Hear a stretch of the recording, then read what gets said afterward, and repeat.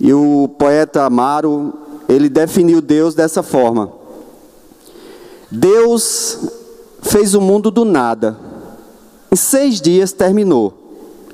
Dois terços de água em cima, o mar na terra plantou, e o céu bordado de estrelas suspenso no ar deixou.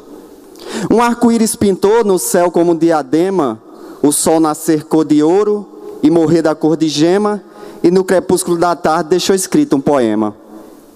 Com a sua mão suprema, deu velocidade aos ventos, deu às aves asas soltas para balhar no firmamento, porque o Mestre é o único de perfeição 100%.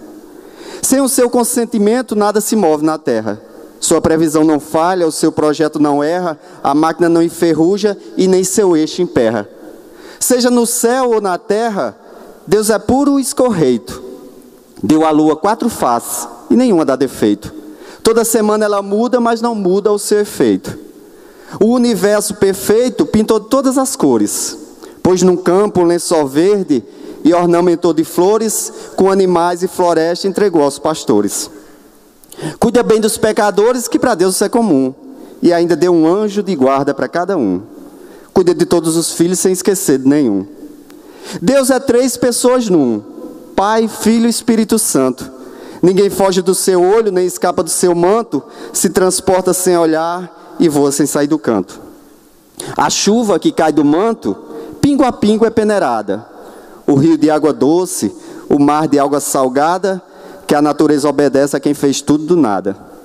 Passa em toda morada, no dia a dia sagrado, ninguém pensa qualquer coisa que Deus não tenha pensado, porque Ele ama os pecadores, mas aborrece o pecado.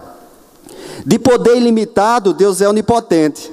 Por estar em toda parte, Ele é onipresente. E de saber absoluto, Ele é onisciente. Com a sua mão potente, é comandante da nave, a bordo do cosmo faz girar o globo suave, e dos desígnios e mistérios, Ele é o dono da chave. Quem tira do olho a trave, conhece os defeitos seus, sabe que Deus é o dono até da fé dos ateus. E até quem não tem fé sabe que o dono do mundo é? É Deus.